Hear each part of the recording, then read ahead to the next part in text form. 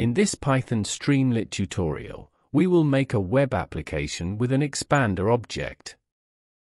In the video I will show step by step how to do the application. To support us, you can subscribe to the YouTube channel and like the video. First, I will activate the web server. I open Terminal. I open Command Input.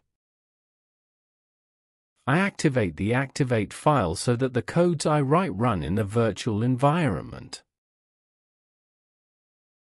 You can activate the web server by typing this code.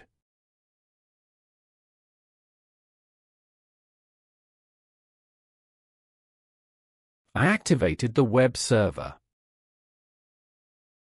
I create three tab variables.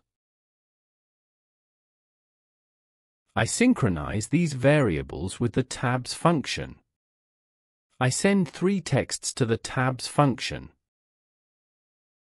I define tab objects using with. I add a header to each tab.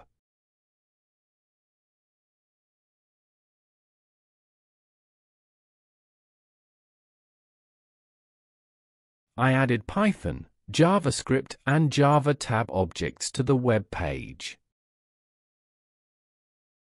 I will use these images in the application. You can access the images from the GitHub link in the description of the video. I add images to tab objects sequentially using the image function.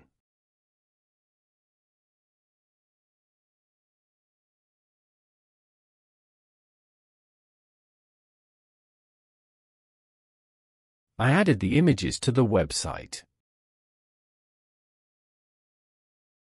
I will create an expander object. I will add these texts to the expander object. You can access the text from the GitHub link in the description of the video. I am creating an expander object. I add the Python description to the expander object.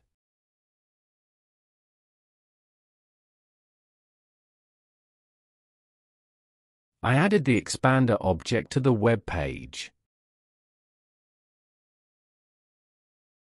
I want to show you what it would look like if there was no expander object in JavaScript and Java tab objects. I just add the write function to the tab objects.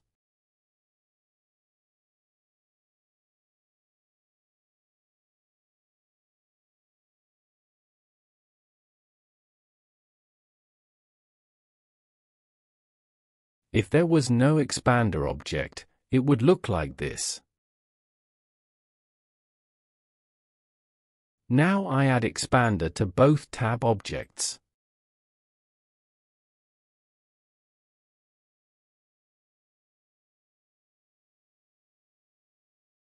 Let's test it.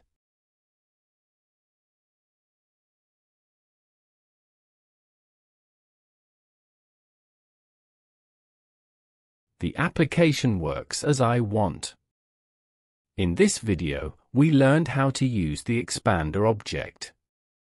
To support us, you can subscribe to the YouTube channel and like the video.